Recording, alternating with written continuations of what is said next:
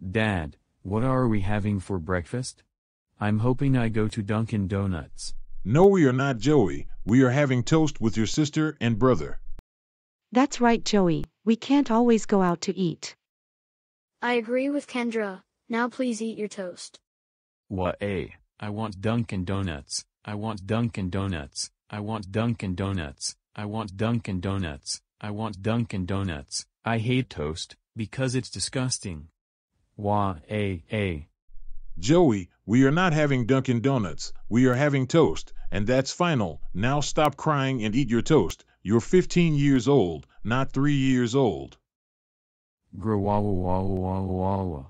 I want Dunkin' Donuts. I want Dunkin' Donuts. I want Dunkin' Donuts. I want Dunkin' Donuts. I want Dunkin' Donuts. I want Dunkin' Donuts. I hate toast and it's disgusting and it makes me throw up.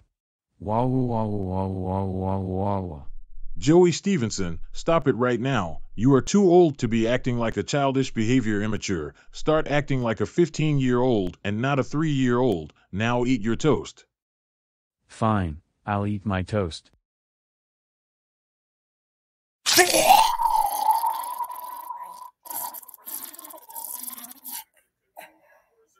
Joey Stevenson, really, you just threw up everywhere because the toast bothers you?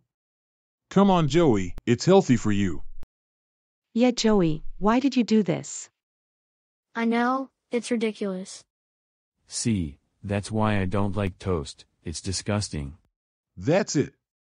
Joey Eric Stevenson, how dare you refuse to eat your toast, act like a three year old, throw up all over the floor, and make your siblings disgusted?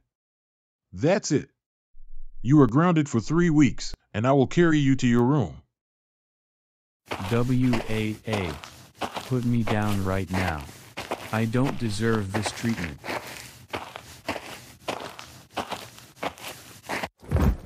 Now stay in there and don't come out until I say so.